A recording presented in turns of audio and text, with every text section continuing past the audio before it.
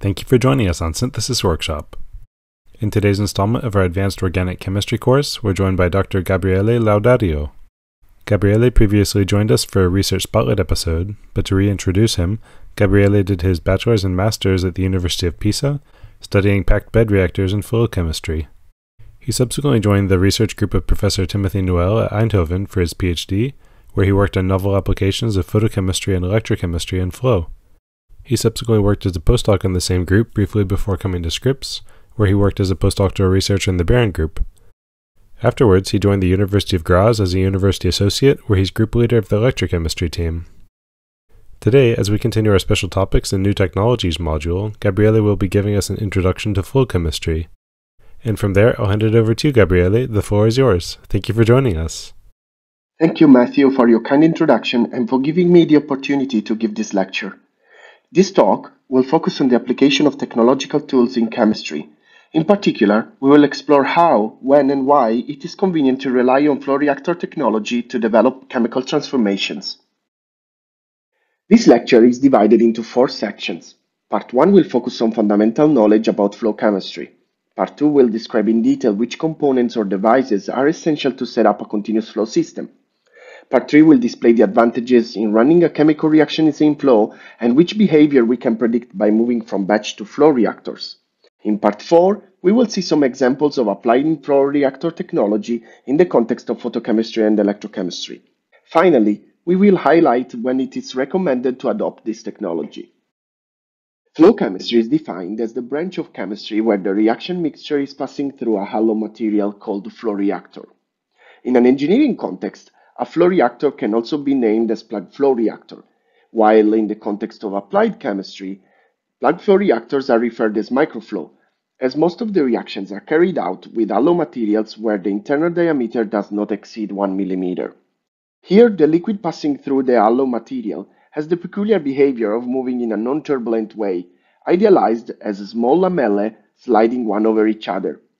This phenomenon is called laminar flow. On the other hand, when the reactor dimensions exceed the millimeter.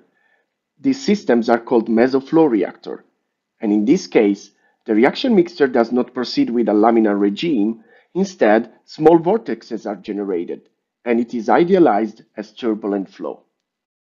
When a flow reaction is considered, there are two important parameters that must be redefined, the reaction time and the yield. The reaction time is now defined as the amount of time in which the flow stream enters and exits the reactor. This new concept is defined as the residence time and it can be calculated as the volume of the reactor divided by how fast the reaction mixture is pumped in the reactor itself, which is called the flow rate. Regarding the yield, in flow chemistry, two new parameters can be introduced, the productivity and the space-time yield.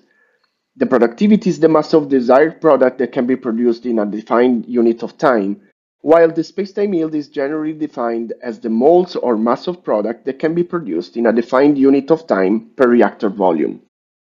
Now let's take a look at the flow setup.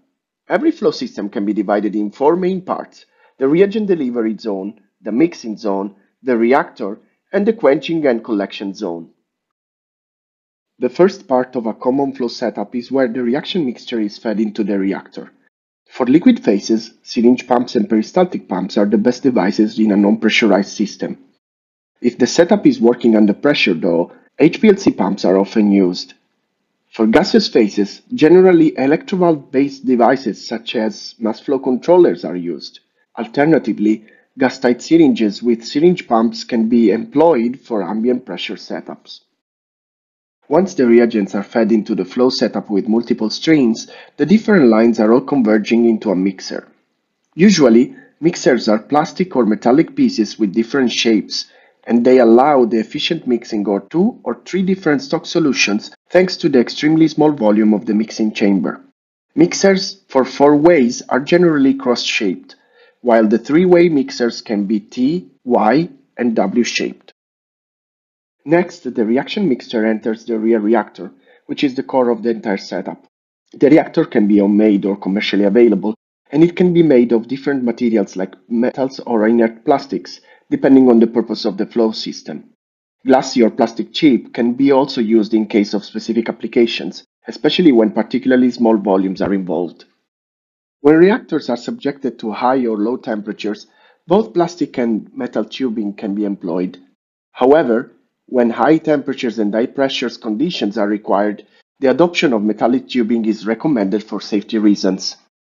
Photochemical reactors are usually made of transparent tubing which can be wrapped around the light source or surrounded by it.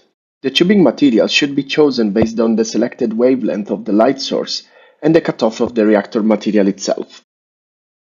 While thermal and photochemical reactors are relatively easy to make, electrochemical reactors are usually much more complicated to design and manufacture. Most of the time, chemists rely on commercially available design where different electrodes can be used.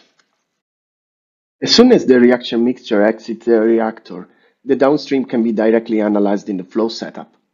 When the analysis of the outlet stream is carried out with non-destructive techniques, that is denominated as inline analysis. Common inline analytical devices that can be coupled in flow are UV visible spectrophotometers, FTIRs, and benchtop NMRs.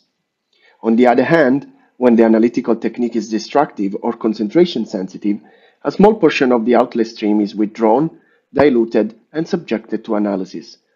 This approach is denominated as online analysis, and it is commonly used for detectors like mass spectrometry. Now that all the main parts of a general continuous flow apparatus have been described, the next step would be to define how such a system is running. For chemical applications, there are two main ways to carry out flow reactions. The first one is the so-called single-pass flow mode, with an end-to-end -end design where the feeding system and the collection are separated. With this approach, the mixture is flowing into the reactor in a directional way, and for this setup, syringe pumps and HPLC pumps are the most common feeding devices adopted. This design is mainly used for small-scale reactions and when unstable reagents and products are involved in the process. Moreover, this system is one of the election when the reaction is carried out to collect analytical data, for example for kinetic purposes. Conversely, a design where the mixture is in a vessel that acts both as feeding system and collector can also be envisioned. In this way of conducting flow experiments, called recirculation mode, the feeding system of choice is a peristaltic pump, and it finds its best application in the scale-up experiments where usually starting materials and products are relatively stable. One of the most important aspects of flow chemistry that every practitioner must consider is the solid particles handling. This is one of the hardest challenges of flow chemistry because solid particles can clog the reactor, compromising the outcome of the experiment. Nowadays, there are two main ways to deal with solid reactants in flow setups. The first one is to accumulate all the solids in a tube and segregate them with porous materials like glass wool, creating a reactor where the homogeneous solution is allowed to flow through. These cartridges, called packed bed reactors, are commonly used in the context of heterogeneous catalysis or insoluble bases. They are easy to make and versatile in their installation into a flow system. However, careful solid packing has to be performed in order to generate a system with low overpressure. Furthermore, the nature of the solid particles can change during the experiment, compromising the chemical behavior of the insoluble reactants. Another possibility is to generate a reliable suspension and flow the slurry into the reactor. This effect can be generated directly or with the help of a gas carrier, which guarantees the suspension of the solid particles in the liquid droplets. While this way seems more viable than the packed bed one, this flow system is much more difficult to design and control especially because high flow rates are required to avoid deposition of the particles on the surface of the reactor. Both these approaches are valuable and should be considered when a solid liquid system is used. Choosing between one of these two options mainly depends on the designated reaction. After this general overview of how a flow setup can be built and what are the most relevant technical aspects to take into account, let's explore what are the main advantages of flow chemistry and why flow chemistry is beneficial in certain processes. When a flow reactor is employed, the reaction mixture inside the tube gains some peculiar physical properties.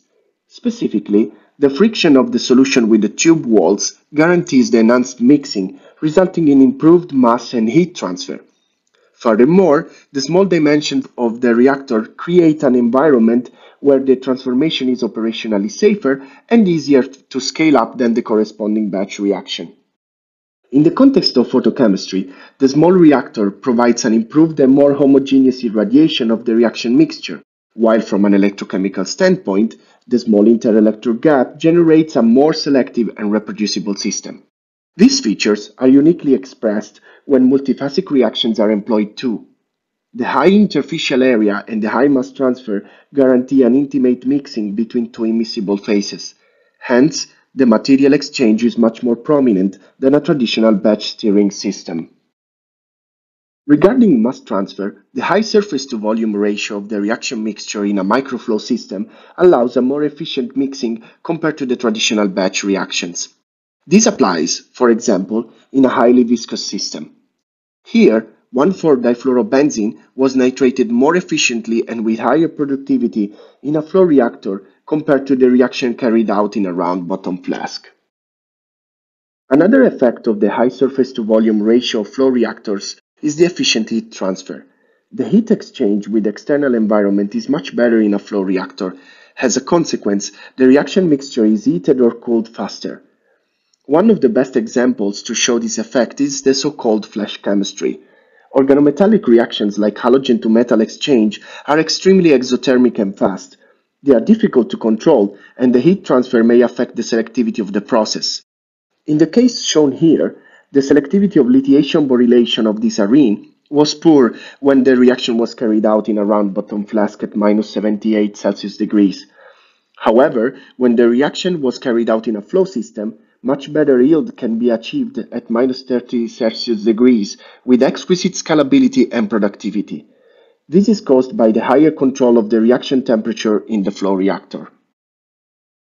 The high interfacial area creates a perfect environment where two immiscible phases can be efficiently mixed, generating relevant effects on transformations where reagents segregated on different phases are supposed to interact. One of the best applications of this effect is the oxidation of benzylic compounds employing molecular oxygen. In this case, high temperatures were safely employed to obtain the desired product in high yields. Another important advantage of flow chemistry is the on-demand generation of unstable and highly reactive intermediates since they can be safely quenched in the flow stream. A striking example is the generation of the explosive reagent diazomethane generated in a tube-in-tube system where the gaseous reagent could diffuse to the external concentrical reactor where it was allowed to react with benzoic acid to generate the corresponding methyl ester in high yields without any potential harm for the operator. In the context of multi-step synthesis, one can also picture to use a flow setup to obtain more complex molecules just by creating a continuous system where consecutive reactions are carried out.